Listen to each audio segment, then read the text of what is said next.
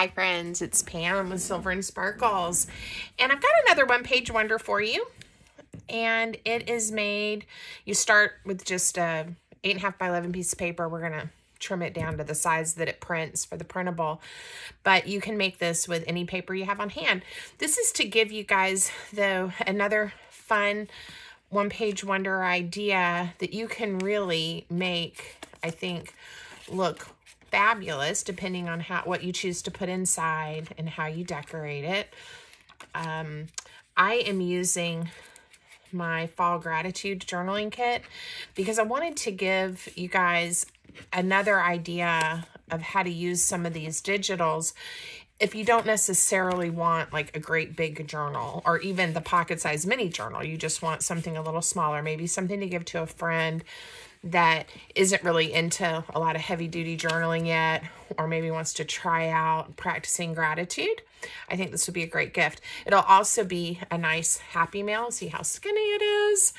And it would be great to put into a larger journal even, or just to coordinate with a journal you're making. So again, you could use this kit. I'll have it linked for you, or you can use whatever papers you have. I think this project would work well um, with any of those.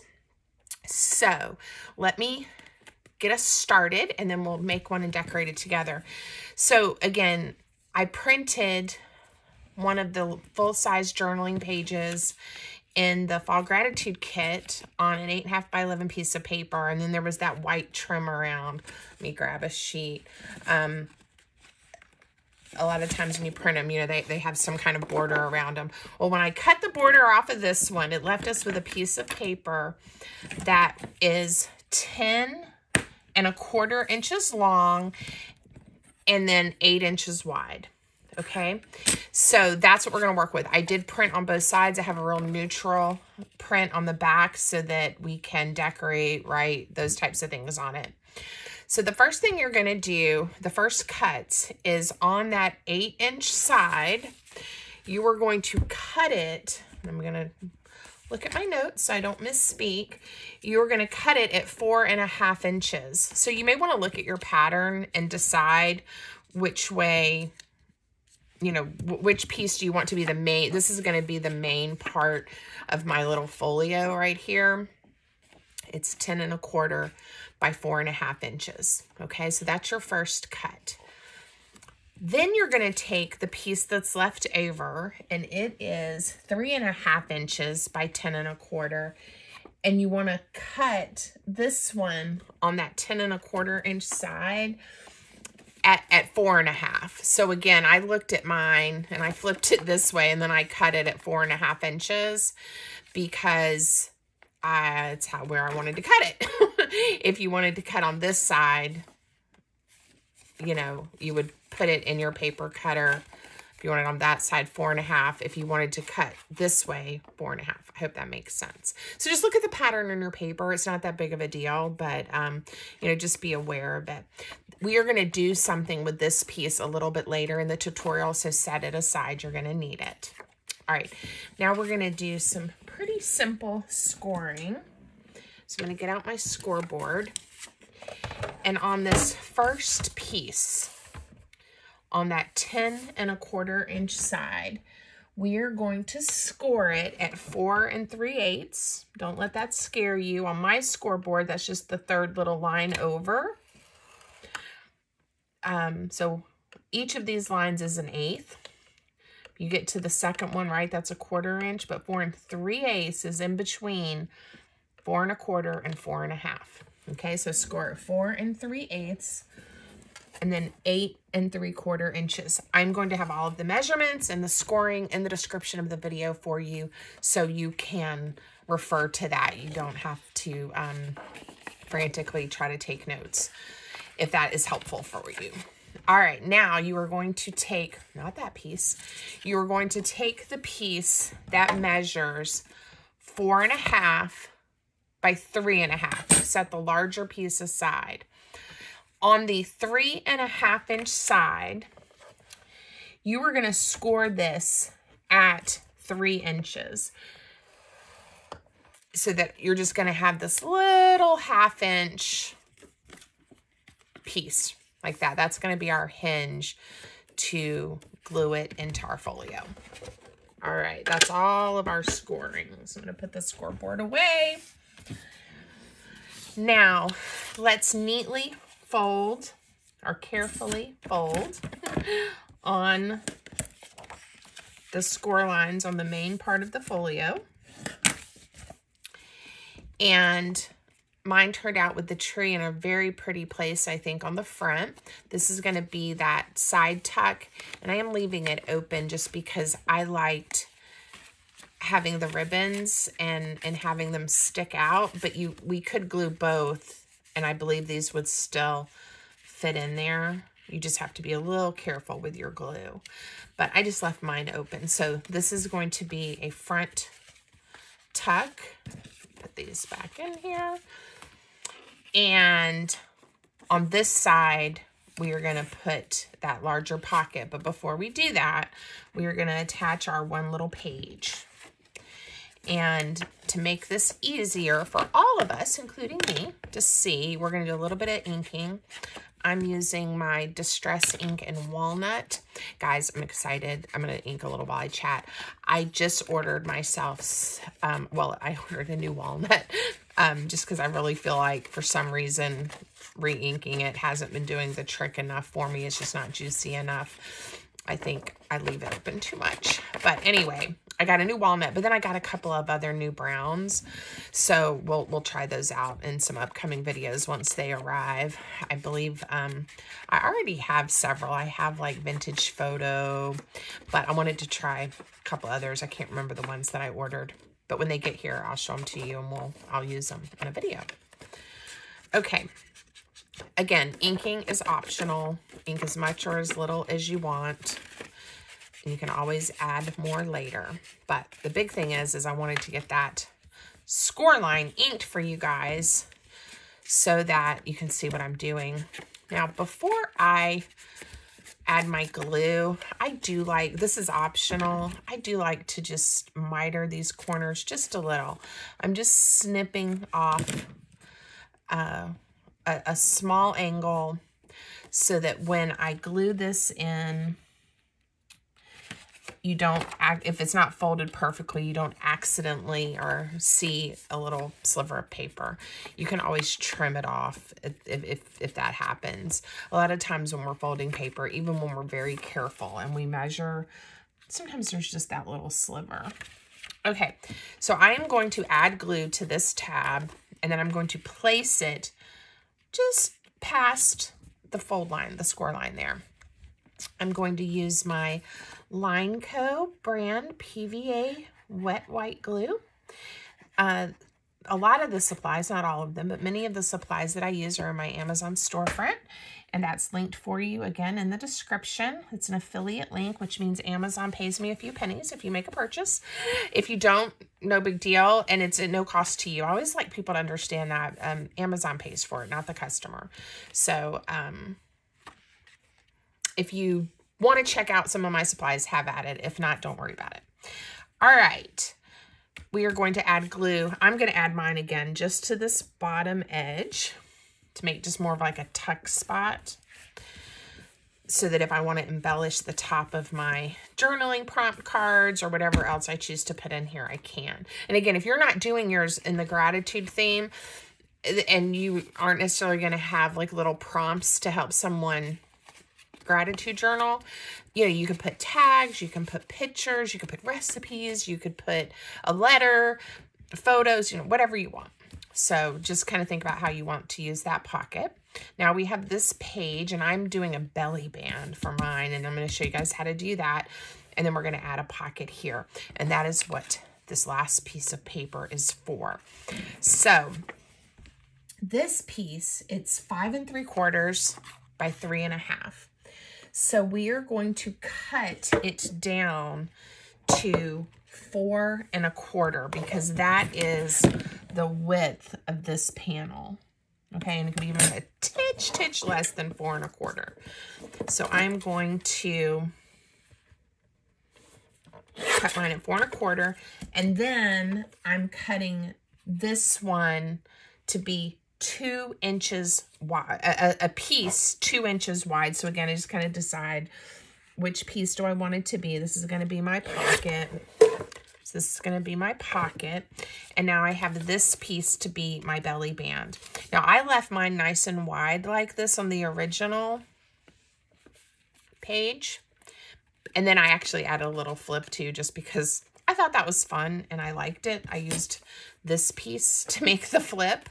Uh, so we'll do that. We'll make it the same. But if you want, if you want a skinnier belly band, you can trim this now to whatever width you want. Right now it's two inches. So, you know, if you want to be one inch or one and a half inches, you have options. I'm sorry, not this piece, this piece. Goodness gracious, y'all. It's already one and a half inches. This is your big pocket. Don't cut that piece up. that is your big pocket, and this is your belly band. Why don't I make it a little skinnier? It's one and a half. Let's make it a one inch belly band just for fun. And then that leaves us this nice little sliver. I'm sure I can find something to do with that too. Okay, so for the belly band, I'm just going to ink it. And you can decorate, you know, the belly bands if you want to. Like I said, I'm going to do that little flip and show you that. Uh, I'm going to notch the big pocket to give it a little interest. And you can see, see that it's a pocket or what's in there. Um, the kit that I'm using also has little pieces of ephemera. And I have some of them cut, cut out in case I want to use them on a few of the tags. And I have a few of the journaling cards and then some of the affirmations. So I've shown you guys this kit. There's quotes, all kinds of stuff. But that's, again, what I'm using because I, it's such a big kit. Unless you're going to make a great big journal, um, it gets a little overwhelming. Like, what am I supposed to do with this? Or what else can I do with this? And not everybody wants, um, you know, a, a great big journal. And especially you know, if there's somebody you're thinking about or they've had a lot going on in their lives and you know the practice of, you know, showing gratitude and being thankful and grateful for the things we already have in our lives might be helpful for them. A big journal might be a little overwhelming. So this might this might be just an option, you know, to help somebody. I'm being very careful with my application of glue on the belly band just at the top and the bottom because I want to make sure I can tuck one of these little tags in here and it does fit. It fits fine. I need to let the glue dry, but you don't want your glue to come down too much or then it won't fit. You can always chop it off if that happens to you or put something smaller in there. All right, now these, um, when they print, they have a slightly rounded corner, but sometimes I like to just put them on my paper trimmer and chop them up, and it's really okay uh, to do that, right? And then if you want to, you can come back through and round the corners. Now this this corner chomper is, is a chomper, and it will do multiple layers like this. Um, if you have to do yours one or two at a time, that works too. I think I need to empty mine again, but there we go. And if they're a little rough, I'll just fix them or trim them up as I go. But I kind of like them being uh, the corners a little rounded. These, these didn't get cut. Much easier if I only do a few layers. okay, so again, if, if it makes your life easier, instead of hand cutting these to get those little corners, lay them on your paper trimmer, chop them up, there's nobody telling you you can't do it that way. And then you can round the corners if you want them round or leave them square. All right. We have a pocket. We have a belly band. We have a page. It's cute. And we have another tuck spot. So now we just get to decorate. I did use on the other one, um, one of these little tabs. And I think it's so cute. So we're going to use one here too. And I'm going to cut it out. I think I've shown you guys this, but in case you missed it, and this works with any shape of tags that you get that are, um, these are just a round one, but no matter what the shape is, that this little strategy will work. Instead of trying to now cut these curves, what I do is I um, cut along the straight edge, and now I'm just folding it in half because that's how the tab's going to work, right? Fold it in half. And then I do the cut this way. That way I know both sides match. And I just think it's much easier than trying to cut and then make them match later.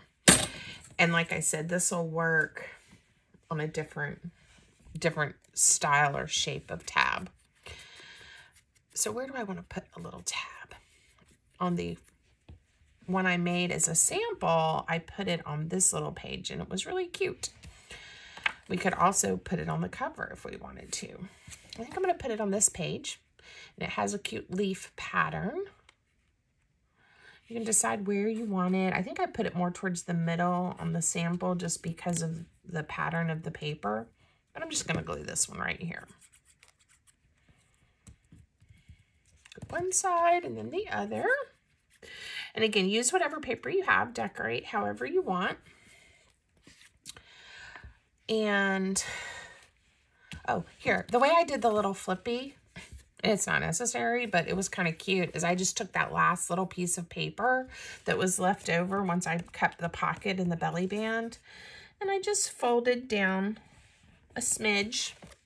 What is that, like maybe a quarter of an inch? Just enough to have a tab. Add a little ink. And then I'm just going to glue it down by the tab right at the top, the top of the page cuteness.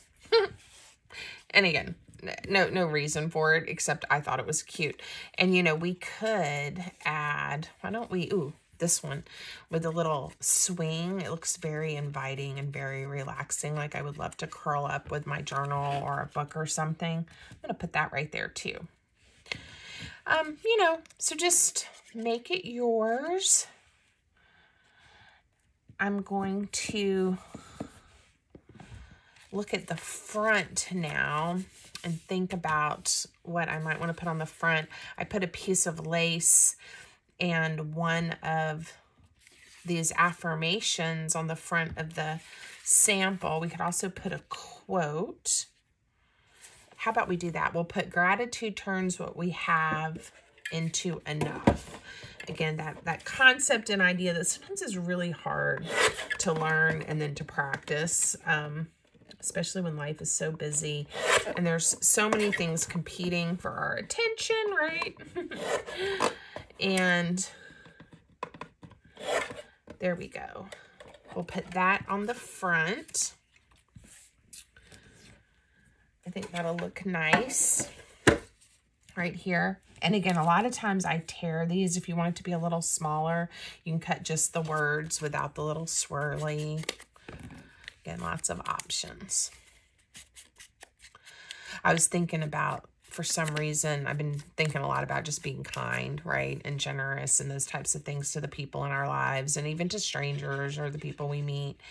And I remember something that I used to tell my kids all the time when they were younger. And you know how sometimes children will um, sometimes, well, all of us do, but speak without thinking. And, and sometimes the things we say can hurt people's feelings, and that's not what we meant. And so I remember, especially when they were really young, trying to help them understand this concept. And I think I'm going to put a piece of ribbon on here or a bow. And so I would always say, well, the first thing you want to think about before you say something is, is it true? Because, I mean, if it's not true, like, why are we even saying it, right? Like, it doesn't even need to come out of our mouth if it's not true. And then, is it helpful or is it hurtful? And sometimes you want to say something just because it's your opinion or you think people, mm, you know, might want to hear what, what you're thinking. But a lot of times, um, that's helpful or that's hurtful, right? It's not helpful. I don't know why I cut the ribbon like that when I was thinking about doing like a, a little strip and a bow maybe. So anyway, I'm going to tie a bow and then we're going to glue this down. And so the idea of, okay, so is it true? Is it helpful? Is it hurtful? And then even if you think it's helpful, like you really think they need to know this, trying to find then a way to be graceful, generous, kind, you know, with your comment. So again, and when they were little, one thing that helped them, like that they could kind of understand is, okay, if you think somebody smells and you know, okay, so you stink, you smell, right? You don't smell good. You smell bad. Um, is it true? Well, it might be true, right? Like, yeah, I can tell objectively you don't smell good. Um, I'm going to use my two-sided tape to stick this down. And so But then is it helpful or is it hurtful? Well, you know, there's nothing they can do about it in that moment. Like maybe they, um, I don't know, the the garbage exploded on them in, in the lunchroom at school. I don't know. Um, or they stepped in something or somebody in their class threw up and they got, you know, it and now they they don't smell very good, right? Um, it might be true and it, but it's not helpful to point it out, especially when there's nothing they can do about it, right? Um, and if if it's like a body odor problem, okay, teenagers, we've moved on a little bit in age. It's like, okay, is it true? Yes, but is it helpful or hurtful? Well, you know, it might be helpful if you can find a way to share that feedback with someone who's a good friend of yours if they don't realize it. Like maybe their gym clothes need to be washed because they have some body odor and they hadn't really noticed it or realized it. You know, find a way then to be helpful and not hurtful and kind, right? So anyway, I for for whatever reason, this has been going on in my mind a lot lately and I wanted to just talk about it because I think we have such an opportunity in this kind of space and platform when people are uh, there are creators like me out there, you know, making content and videos because it's something we love and it's our business or it's our hobby, whatever.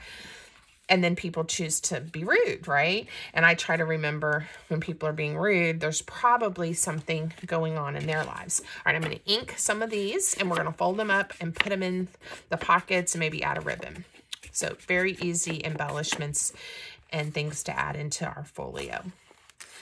So somebody, a very kind lady, told me something I guess Tim Holtz puts or says in almost all of his like releases when he's releasing new products or something. And, and her point was, you know, he's so famous and he has such a talented group of designers that work for him and they get, they still get people being rude or saying ugly things. And if you don't like something, just watch something else or move on, go to somebody else's channel. But I guess he says, and now that I think about it, I think I have heard him say it, but something to the effect of if you uh, don't have something nice to say, find something nice to say, right? If you can't think of something nice to say, find something nice to say because all that does is spread joy. It makes people feel good, um, all of those things. And that's kind of as I think about this practice of gratitude and what makes us um, really appreciate the gifts and the blessings in our lives is talking about those, right? Not complaining, talking about the good things, finding the joy, all of those things. So it reminded me too of, um, for many years, I have not had to talk to my now young adult children about, is it true? Is it helpful? Is it hurtful?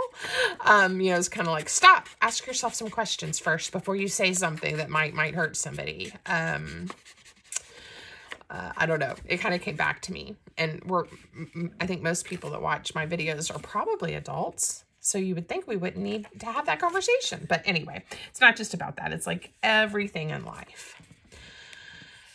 Okay, and you guys have been awesome and so supportive. Thank you for your sweet, sweet, encouraging words. All right, I'm just folding these in half and I'm sticking them in. I think I made, I, I put four in the original one. I didn't want to get it, again, overwhelming or overstuffed. Uh, we'll see how, how it looks. Um, six might be okay. We'll see. Uh, and then here in the belly band, why don't we make this little tag? Well, do I want to just leave it for someone to write? Nope, I'm going to put one of the affirmations on there because I haven't used one of these yet. So how about be grateful every day?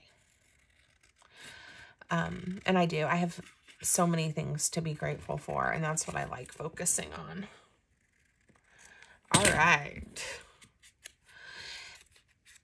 Here we go.